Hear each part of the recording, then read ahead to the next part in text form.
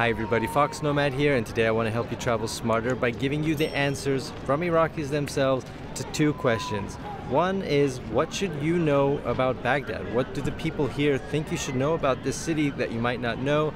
And the second one is, what they think the foreign perception of Baghdad is.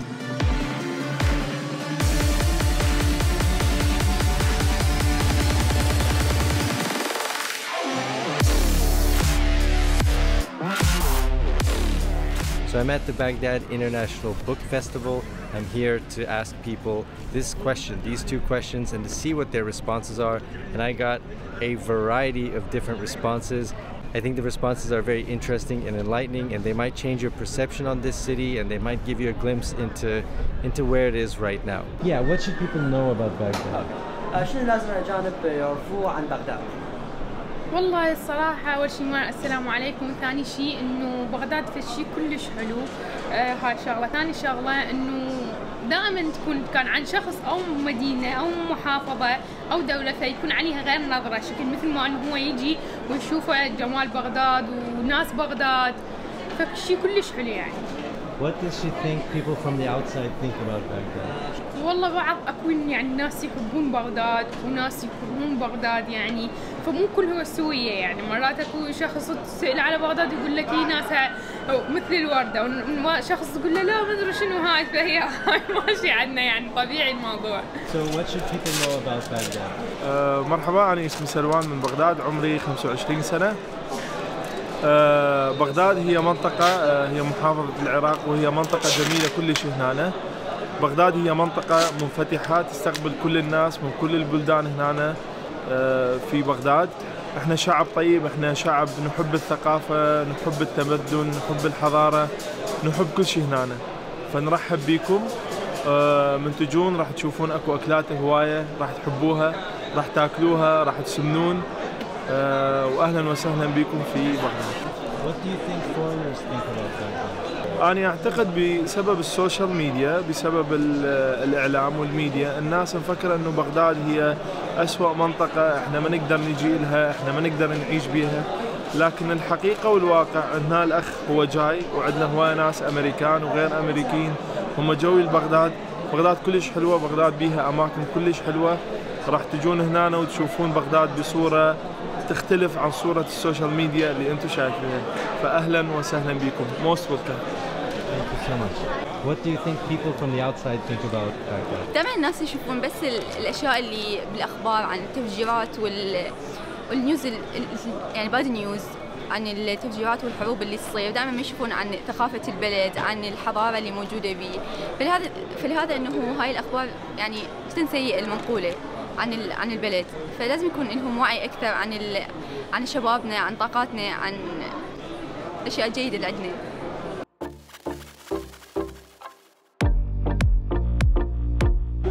فد حقيقة عن العراق أنه من أكثر الدول العربية اللي عاشت معاناة مو قليلة خلال السنين الطويلة. من ناحية الحروب من ناحية الصراعات السياسية والصراعات الداخلية ضمن المجتمع العراقي. لكن بالرغم من هاي الظروف اللي عشناها هي كانت دافع حتى يكون الشخص العراقي أو المواطن العراقي متكيف ويا أصعب الظروف. يضحك يتونس يسافر يتنقل يعيش حياته بتفاصيلها رغم كل الظروف اللي يمر بيها. رغم خارج العراق الأشخاص أو بشكل عام الدول الأخرى تشوف أن العراق شلون ممكن مستمر رغم هاي كل الظروف الصعبة؟ شلون ممكن العراقيين لحد الآن ضحكتهم على وجههم؟ شلون رغم كل شيء عاشوه هم بعدهم متكيفين وعايشين كل التفاصيل حياتهم كأنه ولا شيء صار لا حروب ولا أي صراعات مجتمعية أو سياسية. فأكثر شيء علمنا إياه الشعب العراقي هو الأمل الصبر التكيف أن يعيش أبسط التفاصيل مهما كانت صعبة. وهذا شكرا. Thank you. أول شيء بغداد أثرية أنه بها هواي معالم أثرية. اثنين أنه بغداد هي أصل تراث نقدر نقول من زمان وهي عاصمة العراق. يعني نقدر نقول هي هي أكبر محافظة من ناحية عدد السكان اللي موجود بالعراق. يعني إنه هواي معالم طبيعية صحيحة حلوة.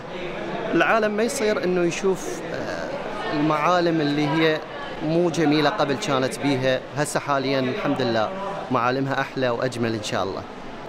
And second question is, what do you think foreigners think about Baghdad? أه، اعتقاد الأجانب ببغداد أنا أشوفه أنه نظرة سلبية لأن اللي يشوفونه فقط أنه بالأخبار إرهاب تفجير على أعمال مو جيدة فأنا اللي أشوفه أنه يغيرون نظرتهم من يدخلون بغداد يشوفون جوها يشوفون ناسها يعني هواي أكو ناس طيبة هواي أكو ناس تحب الثقافة مثل هسه عندنا معرض بغداد هواي عالم تشتري كتب تفتر على هيك you so much. شكرا جزيلا What are we talking about? So I have two questions for you. Okay. The first question is, what should people know about Baghdad?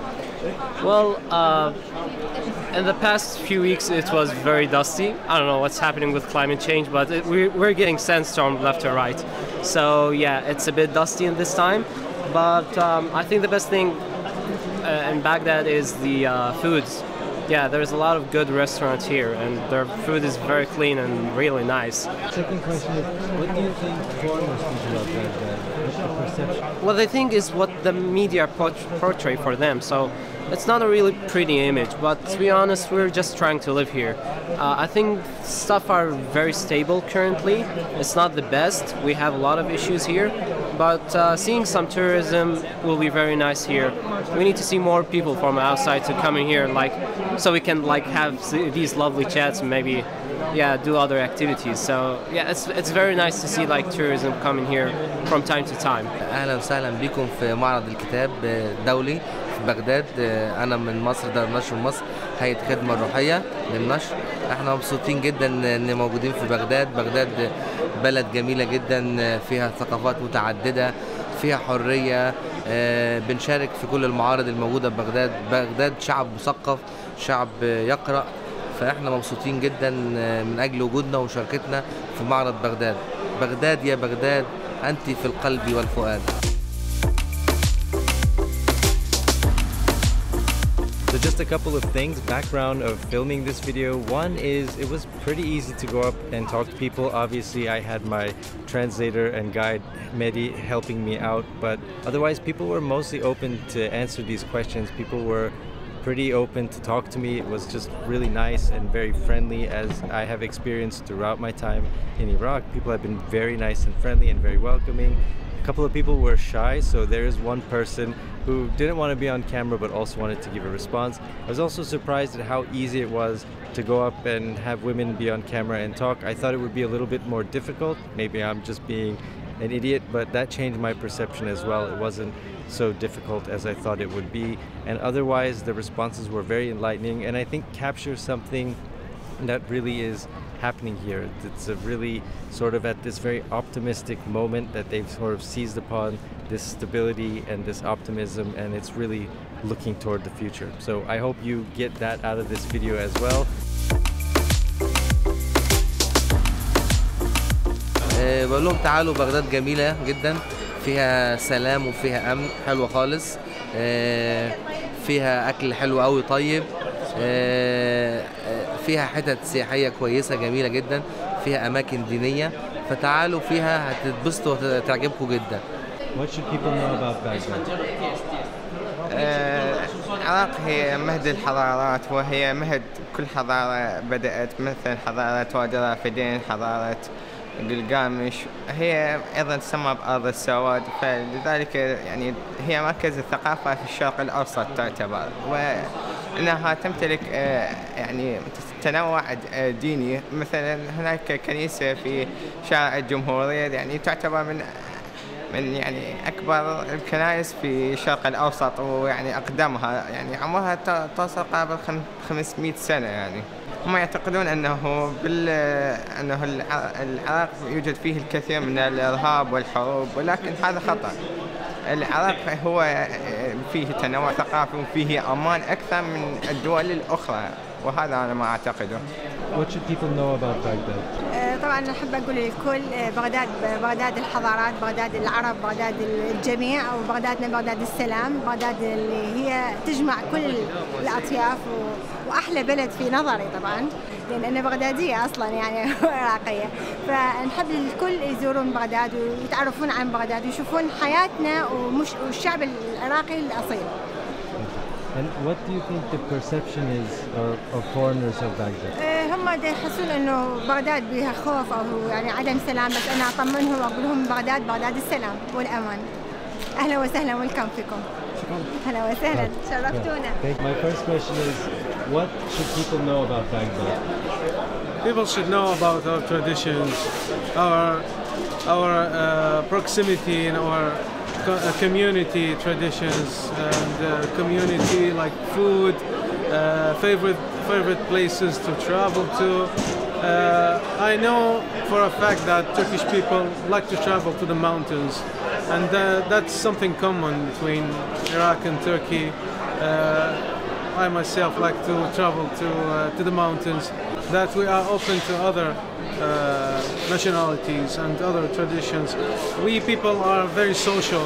We like to get to know people from other other parts of the world, whether they were from Europe, from Australia, America, and other parts uh, of the world. I, I myself, I visited many uh, countries outside world, outside my country, and uh, I, I tried to help, like introduce my people to them, and uh, I try to mix with them. And after they meet with me and meet with other Iraqi people, they actually get confused because what they see and hear on, on TV and, and uh, on the news is different uh, compared with what they see. Like the Iraqi people, when go they go outside, actually they share a lot, and they are more social, which is people should know about more often. Thank you so much. You're welcome. Uh, Baghdad بغداد هي أقدم من أقدم المدن بالعالم. بفتكر في كتير آه، مناطق آه، أثرية مناطق قديمة. آه، يعني هي مهد الحضارات أو وحدة من مهد الحضارات بالعالم. في كتير مناطق أثرية لازم يشوفوها. أي سائح أو أي أجنبي أي غريب عن العراق أو عن بغداد في عنده كتير أماكن يزورها سواء ببغداد كمدينة أو بالمدن أو المحافظات اللي آه، حوالين بغداد أو بتحيط ببغداد Second question is, what do you think people, foreigners think about Baghdad? في في في أنا بقول في جانبين من هيدا من هيدا على يعني لازم جاوب على هيدا السؤال في هون أول شيء بغداد هي بتنقسم لمرحلتين. في بغداد ما بعد السقوط يعني ما بعد سقوط صدام حسين وفي بغداد ما قبل أو عراق ما قبل. عراق ما قبل هو كان عراق بالرغم من كل المشاكل اللي كان يحيط فيها والحصار اللي كان موجود بس هو كان بفتكر وحسب ما بعرف حسب أصدقاء لإلي هون إنه كان بلد منظم بلد فيه مؤسسات بلد ولو كان محاصر بس طريقة العيش كانت مختلفة عن هلأ. هلأ ما بعد ال- السقوط المفروض إنه البلد يزدهر بس هو ابدا منه هيك هو بلد منه منه منه آه، آه، منه مزدهر ابدا. وأنا بقول لازم اللي بده ياخذ أو يفكر أو يفكر بالعراق يفكر بتاريخ العراق مش بآخر مرحلة بس لأنه آخر مرحلة بتخليه ياخذ فكرة كتير غلط عن هذا الشعب وعن هذا البلد. إنما إذا اطلع بالعراق ككل تاريخيا لهلأ لا بيطلع هذا البلد هو بلد عريق في في إمكانيات هائلة عند الشباب عنده في عنده طاقات علمية في عنده هو بلد في كل شيء ك ك ك- تيكون بلد سياحي تينجح كبلد سياحي بقى لازم يتفكر فيه للعراق من من بداية التاريخ إلى الآن Thank you. You're welcome. What should people know about Baghdad? Hello, my name is Mahdi, and what should people know about Baghdad? Baghdad is, I would say, authentic. Like, it is one of the most authentic cities, I would presume, in all of the world, um, because it not like technically it has not really been touched by a lot of foreigners for about 40 years because of all the history and the wars that happened. only now it's being opened. So if you want to see a place that is basically so authentic, Iraq and generally even Baghdad is a very good choice to do so. What do you think foreigners think about Baghdad? Mm, Now this is one is a broad question because like it really depends on the foreigner and what they they are basically subjected to because you have a lot of media uh, that goes back into the wars about Iraq and uh, the wars about Baghdad and how it was suffered and uh, it was how it was affected uh, which is, I think taking a toll on uh, a lot of people, and that is what the, they mostly think. Uh, the, like the first thought that comes to them about Baghdad: war, tragedy, uh, suffering, maybe even. Uh, but you have some others that are more up and have kept up with the news and um, basically understand and know that Iraq is also just a country. It has the people and it has the government. Not to mention, we have been living in a somewhat stable state for about five years, and life is coming back to what it normally was before the wars. Not to mention, even in the wars, I can say it was somewhat no- normal.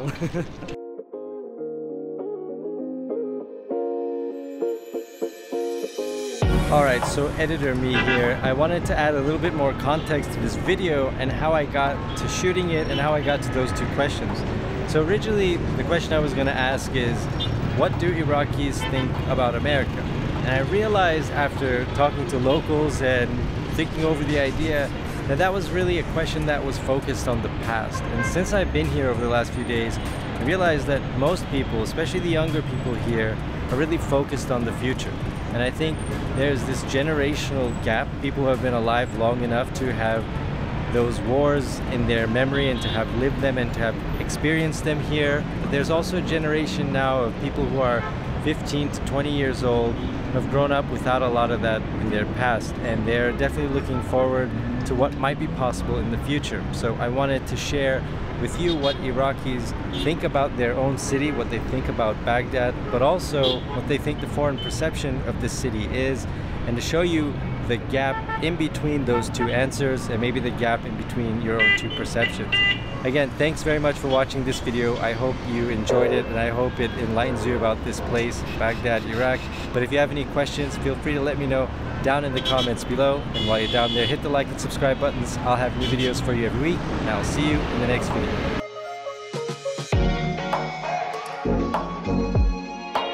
What do you think people from the outside think about Baghdad? أم، أغلب ال معلش. أم، Uh, you better watch out. Oh, no, all good. Should you like do a retake for this?